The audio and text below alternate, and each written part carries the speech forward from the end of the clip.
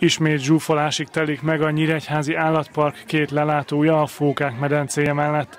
Március közepe óta szünetelt a közkedvelt fókasó, néhány hete azonban újra láthatják az érdeklődők a labdázó, csúszkáló és puszitadó fókákat ahogy a vírus megjelent, ugye ugyanúgy foglalkoztunk állatainkkal, mint előtte, naponta négyszer tréningezünk.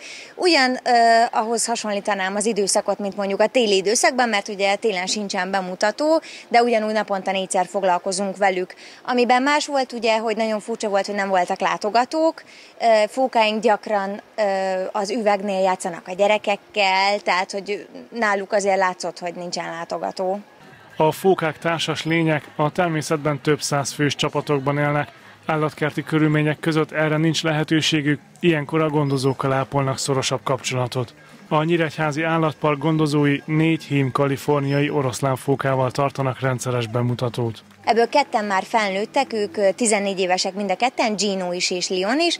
Ők 13 évvel ezelőtt érkeztek hozzánk ide a parkba. Ugye egy éves koruk előtt a kisfókák mind a szüleikkel vannak, illetve az édesanyjukkal, hiszen tejjel táplálkoznak, és ezt követően térnek át a tengeri halak fogyasztására, tehát csak ettől a pillanattól tudjuk megkezdeni a tanításukat. Van két fiatalabb fókánk is, az egyikük már egy picit nagyobb, ő már lassan közelít a felnőtt korhoz, az ivarérési korhoz, ő jelenleg 5 éves, ő négy éve érkezett hozzánk Rotterdamból.